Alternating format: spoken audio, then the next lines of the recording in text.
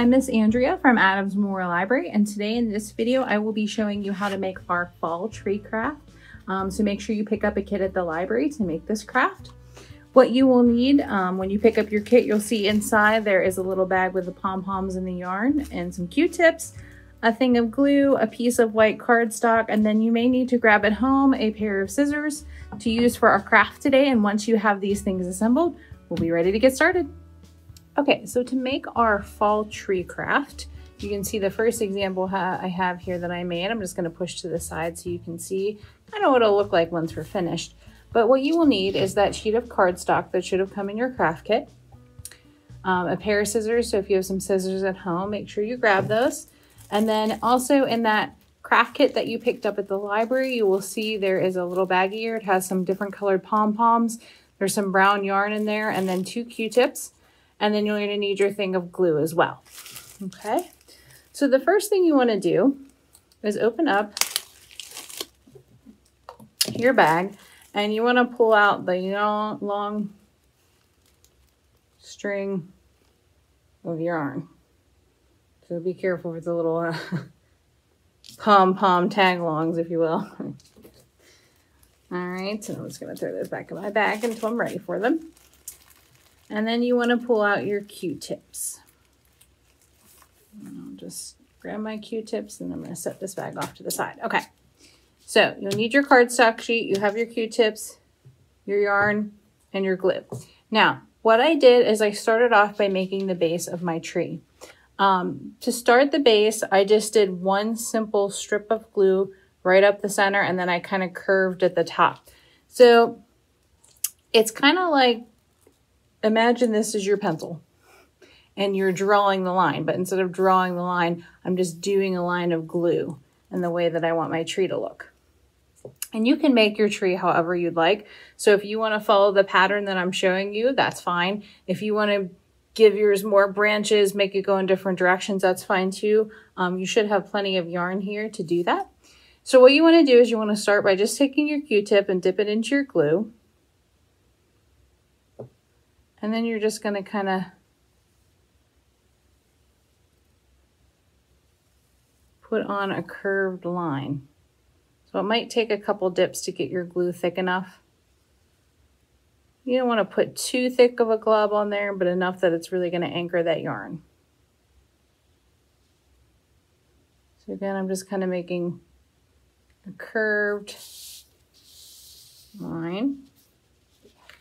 I'll hold that up so you can kind of see it. Just a curved line. Okay.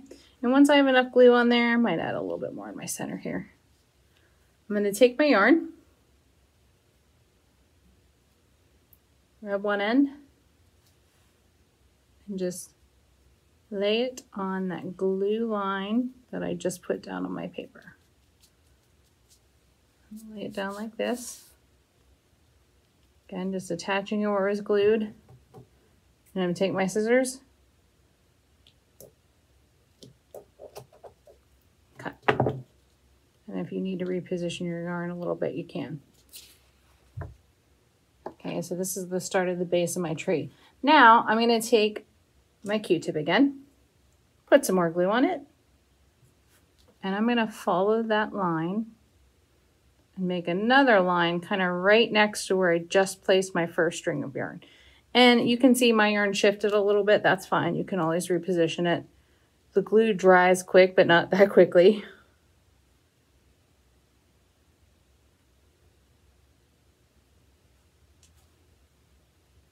Okay, so I did another line of glue right next to my others, and I'm going to pick up my yarn again.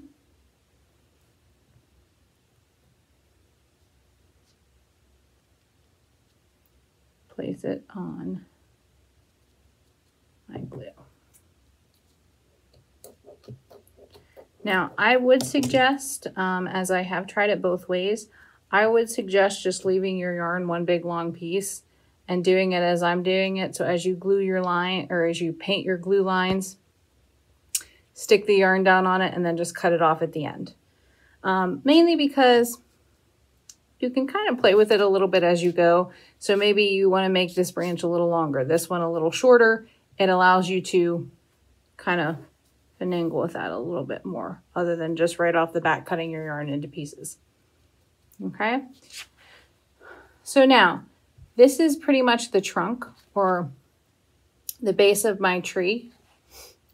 I made it two yarn strands thick. Um, on this one, I did three strands. So however thick you want your tree to be, you can just keep adding. Right now, I'm going to leave mine with two strands. But like I said, if you want the trunk a little bit thicker, you can always paint another line of glue and add another string of yarn. I'm going to go ahead and start working on my branches. So I'm going to have another, I'm going to take some more glue and make another branch kind of angled off this one.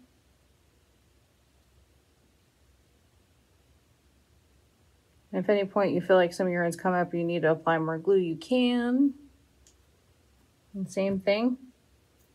Take the yarn, lay it down on my glue line.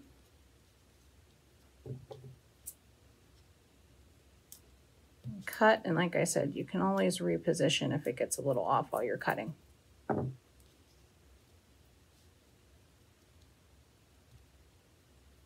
You can make it curve, a straight branch, however you like. And then I'm going to make some little branches off of my big branch there. So again, I'm just going to take more glue, paint some smaller branches.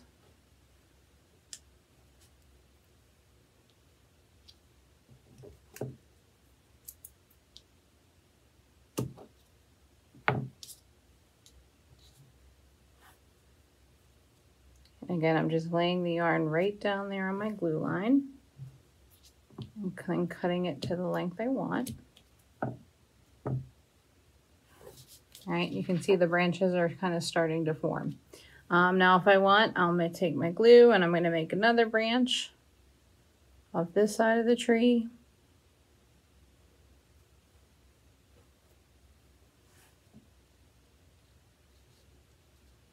Place my yarn down.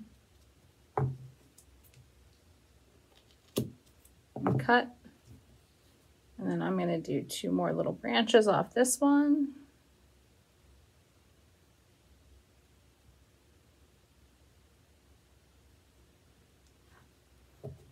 So again, if you notice your yarn shifting a little bit, that's fine. Just press it down or apply more glue if you need to. It will take a little bit of time for it to dry before it's really going to set into place like you can see on my other example.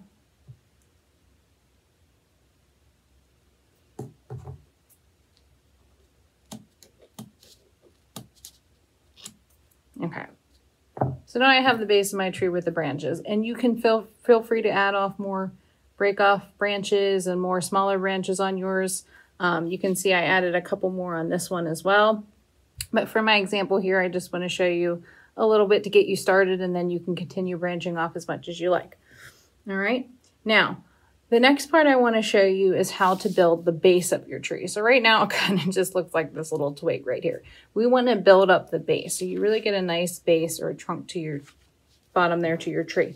Okay. So to do that, all I did was take some glue and then just kind of went off of my bottom yarn here.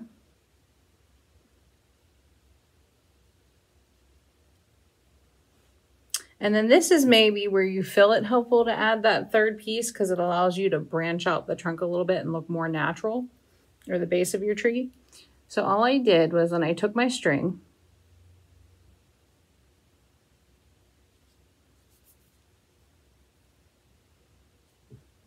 apply a little bit more glue here. Okay. So I took my string and then I just kind of lined it up with my trunk here and angled it out. So I kind of have the outline part and I'm going to fill it in here in just a moment. But I wanted to get my outline of the bottom part of my tree. Okay. Now I already still have some glue in there, so I think I'm pretty good. I might just add a little bit more dab just to make sure that yarn, when it dries, it's fully attached. And then what I did, so I took the string right along this piece I just glued.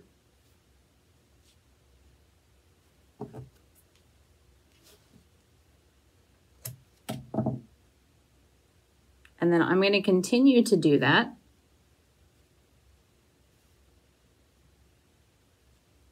until this is filled in. And the nice thing about this is you can always keep adding yarn to make your tree wider. Um, or like I said, it takes a little bit for that glue to dry. So if you add a piece and you really don't like it, you can easily just pill up the yarn. So you can always adjust your tree at any point while you're doing it.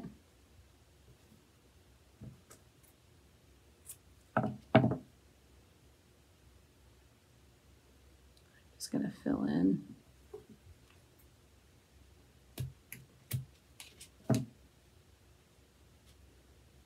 Keep putting down yarn until my base is pretty much filled in. Okay. So this one goes a little bit towards that one side, like I said. If I want to build it up a little bit on the other side, I can always add a strip down.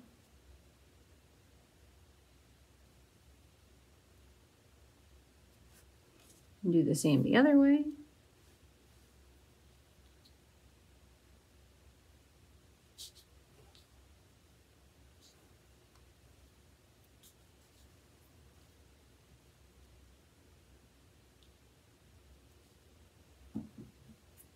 And this is where it can get a little sticky from all the glue. But I really want to make sure that I really kind of push these three pieces together so that it looks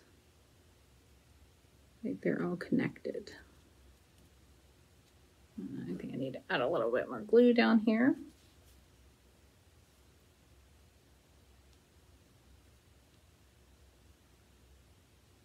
Okay. And then I can do the same thing. Just fill in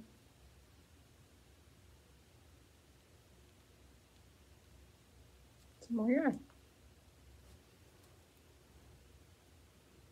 And as you can see, even with all this filling in and the adding a thickening of the tree, I still have a lot of yarn left. So feel free to make as many branches and how thick of a base that you want. You do have plenty of yarn here.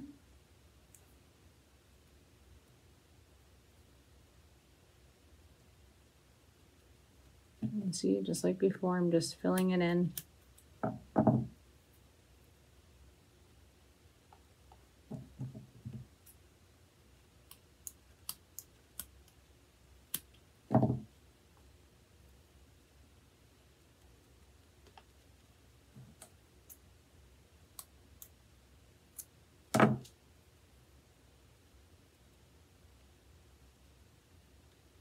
Okay, there we go. Like I said, if you trim that off more, make it a little bit more even, that's fine too. But now I'm ready to add my pom-poms. And um, I will point out that depending on how curved you made your line or if you want to make your tree curve a little bit more, you can always add off more branches to the side. You can see this one I kind of have curving more towards this way. This one's a little bit more straight up the center. It's all in the preference of how you want your tree to look. And then the pom-poms are really simple. You're going to do it very similar to the yarn in that you're just going to take your Q-tip, just put on some dabs of glue wherever you want to place a pom-pom or a little leaf.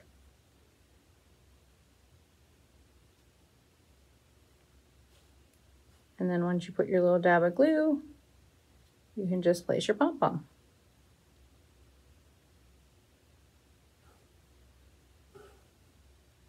So you can put as many as you want um, on your branches.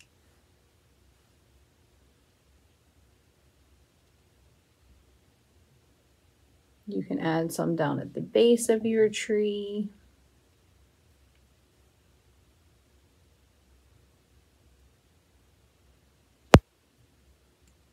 I'm just going to put a little dab of glue.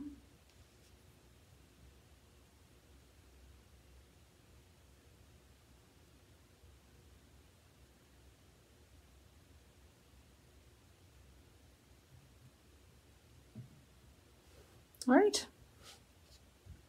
And like I said, you have plenty of pom-poms, so feel free to add as many as you want. I'm just going to add this to give you a little bit of feel for how you add on those pom-poms. You can see um, I added some more on the top branches of my trees. If you do more branches, you can add more pom-poms. Um, if you want to attach them to the base of your tree, you can do that as well. You just have to put a dab of glue down and put the pom-pom down. Now, um, once you have everything in place and you're ready to let it or to hang it or to use it, please make sure you just let it lay flat long enough for it to dry. Once it dries, it's pretty anchored on there. Um, I have not had any pom-poms falling off yet. Um, so it'll anchor on pretty, pretty well for you, but you do have to give it a good amount of time for the glue to dry. All right.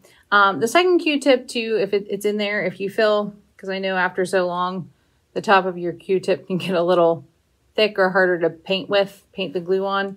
Um, so you can always use the other end or feel free to use that second Q-tip in there. It's just a little spare backup um, if your first one gets a little worn out. All right, so there you go. There is our fall tree craft. I hope you enjoyed making it with me. Um, please feel free to bring them in to the library. We'd love to see them. Keep an eye out on our calendar for future events and future crafts coming up. You can view it online or if you stop in the library um, to pick up a calendar as well. Happy tree crafting.